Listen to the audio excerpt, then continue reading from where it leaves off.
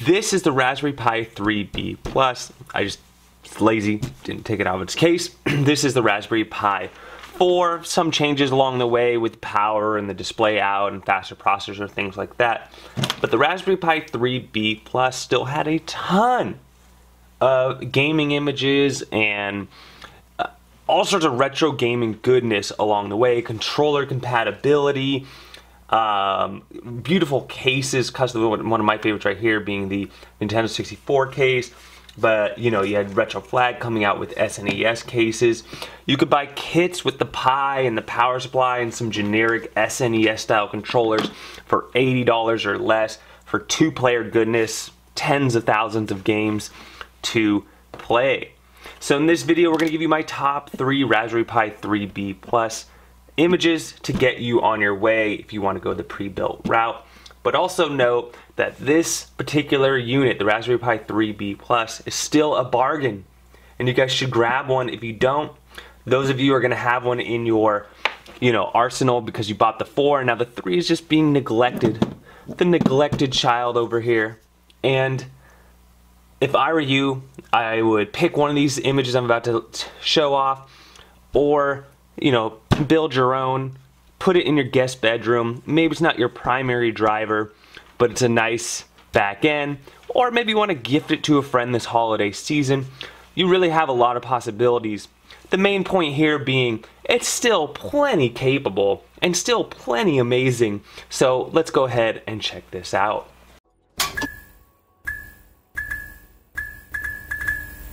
In number three, we have Galiceo's Dragon Blaze Recalbox image. It's 128 gigabytes in size, thus making it one of the more affordable options here. Now this one comes with a little controversy because as I mentioned in the video when I fully reviewed this, that it does come in Portuguese to start. So you do have to change the language and it's not just one click of the button. After you change the language, there are still some of the metadata and some of the options still in Portuguese as well as the ScummVM games and Cave Story and a few others. But pretty much 90% of the console game or all pretty much all the console games um, and, and you know most of the other games are are in English.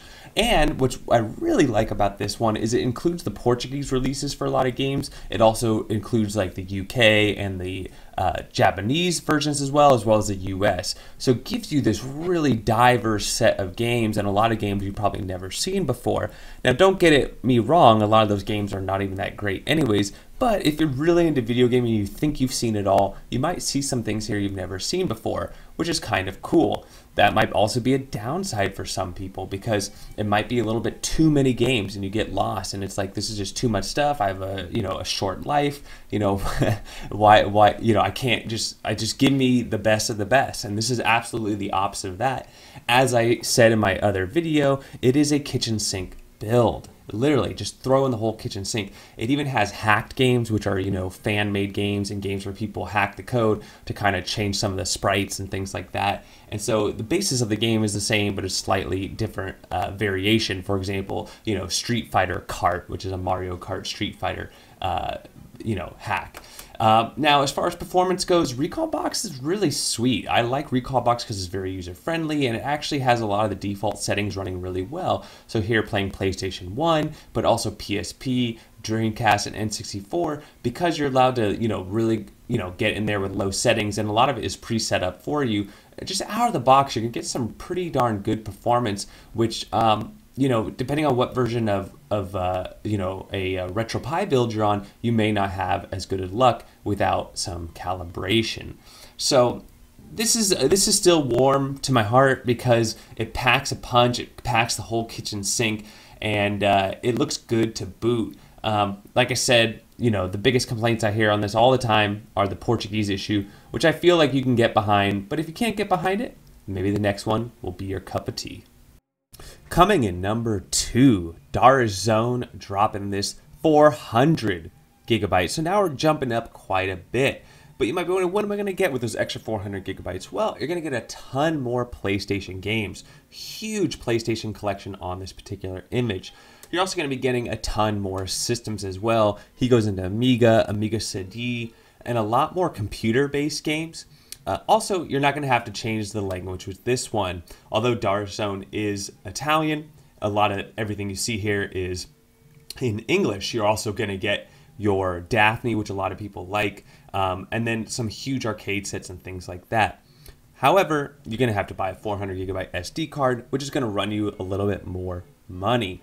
That being said, the themes on here are beautiful and they're very user friendly and very um, tight, as in very um, not hardware um, uh, reliant. So you're going to get a really smooth experience on this. There's some themes out there that the Raspberry Pi 3B Plus just has a hard time handling. The other thing you're going to notice, just like Galicio's image, is there's no video snaps on this image. So when you click into a system and you go to a game, you're only going to see the box art and a screenshot and um, you know the cartridge itself. So um, it's very uh, you know smooth and streamlined in that regard. But some people like a little bit more bling, a little bit more flair, and um, you know, th- this one is a little more compact in that regard. As far as bezels, this one does have bezels. A lot of them have this little DZ logo on it. If it's a console game, it'll be a TV. If it's an arcade, they have a little coin slot on it. Um, compatibility wise, this thing's running great out of the box. You're not going to have to do any fixes or anything like that. And uh, I wouldn't update it. I think it's fine the way it is, but you can easily update it to the latest version of RetroPie if that's something you want to do. Now, um, huge, huge collection if you're into those games. That's really why I give it number two. I think this might actually be number one for a lot of people because it um, has a lot of those computer based games that you're not going to see on the number one winner. Um, now, uh, this does have that, that random game generator, which uh, randomly selects a game. And as I mentioned with these themes, it has more or less the similar theme in different variations, the one you're seeing now. So it's a solid, solid choice. If somebody I knew was really into like Atari and Amiga and Commodore 64, and also if they wanted a large PlayStation set, I would say, here's your, this is it. No questions asked. There you go. You've got it made.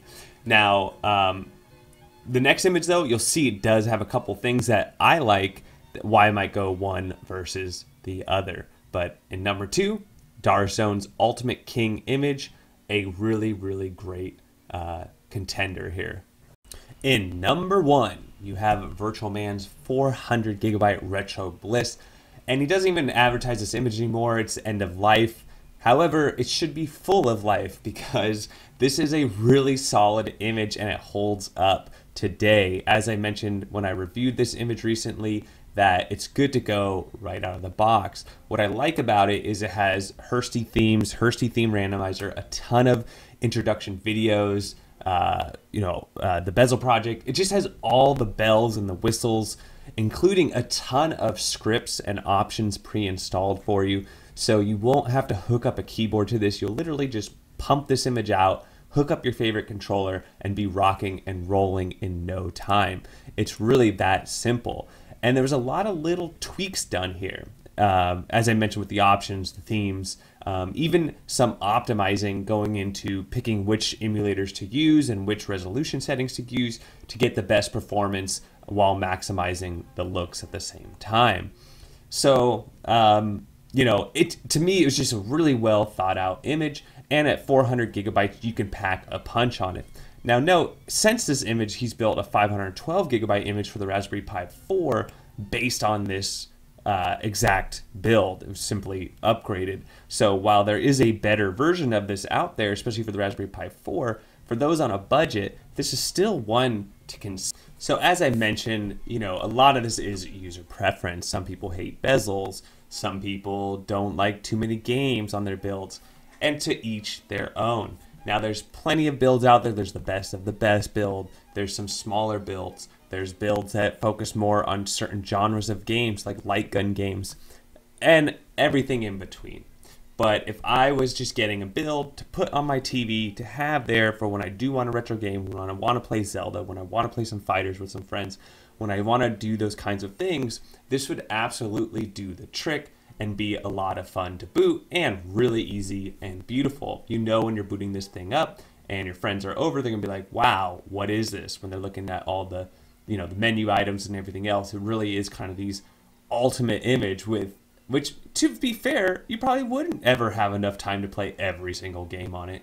but um, that's not the point, right? so I want to finish with thanking the community, thanking you know all the people that make third-party accessories, the Raspberry Pi Foundation, RetroPie. You know, even a lot of people don't realize that a lot of this, the back end is RetroArch and LibRetro and you know these a lot of developers and people behind the scenes that make this possible to have such an epic build. There's also people that do like the artwork that you're seeing right now. Like someone somewhere put that together um, and so it's quite amazing when you really look at all the pieces that go in this speaking of pieces you know, that's the last thing I would say is the Raspberry Pi 3B Plus and just any Raspberry Pi for, for that matter. You can go download a base image and build it yourself. That's part of the fun is the tinkering and playing. Most people who watch my videos probably spend more time tinkering and editing and adding games than they do actually playing the games. Yes, that's true. So um, that's what I think. That's my top three. Let me know if you think I missed one or I should revise this. I'll definitely be doing more series like this. I hope you enjoyed it. Don't forget to like and subscribe, and we'll catch you on the next one.